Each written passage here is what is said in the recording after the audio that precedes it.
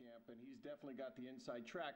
Word is that they're having some problems with injuries. Really? And uh, are they looking into free agent signings last second, anything like that? Or? Possibly. And they've got a strong farm club, too. They've got some AAA ball players they might be bringing up. But again, Peter would certainly be able to tell us a little more about that in the next half hour. Who do you like?